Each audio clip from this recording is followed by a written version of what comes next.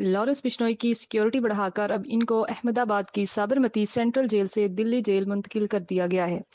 क्योंकि Goldy broad Canada में और लॉरेंस बिश्नोई का भाई अमेरिका से इस गैंग को चला रहे हैं। लॉरेंस बिश्नोई को पहले तहार जेल में बंद करने की प्लानिंग थी, लेकिन टिल्लू दाजपुरिया की मौत के बाद इनको दिल्ली जेल से लाया गया और इसकी सिक्योरिटी को मजीद बढ़ा दिया गया। क्योंकि सुनने में आया है कि सलमान खान को मारने के लिए इस गैंग का पूरा हाथ है और ये गैंग लगातार इस कोशिश में है कि सलमान खान को जान से मार दिया जाए।